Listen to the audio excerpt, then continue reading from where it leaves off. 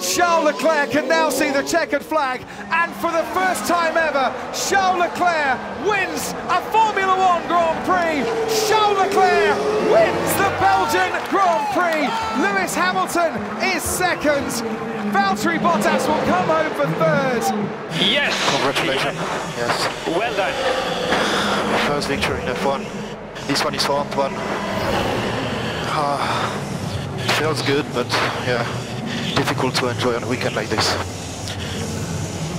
But thanks for everything, guys. You're the best. A dream come true anyway. But it's a finger raised to the heavens for Antoine Hubert by Charles Leclerc, the 108th different driver to win a Formula One World Championship Grand Prix. He did it for his friend, he achieved it for himself. An emotional weekend and your first ever victory in Formula One. Congratulations.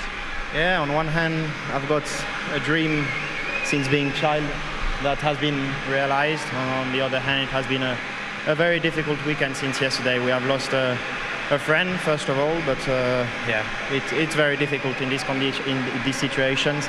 So yeah, I would like to dedicate my first win to him. Uh, we have grown up together. My first ever race, I've done it with, with Antoine when we were younger. There was Esteban, Pierre, and uh, yeah, it's just a shame what happened yesterday. So uh, I can't enjoy fully my first victory, but it will definitely be a memory I will keep forever.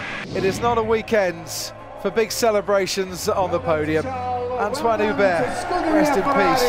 Charles Leclerc, bravo. Dentro, dentro! Marca, marca, marca!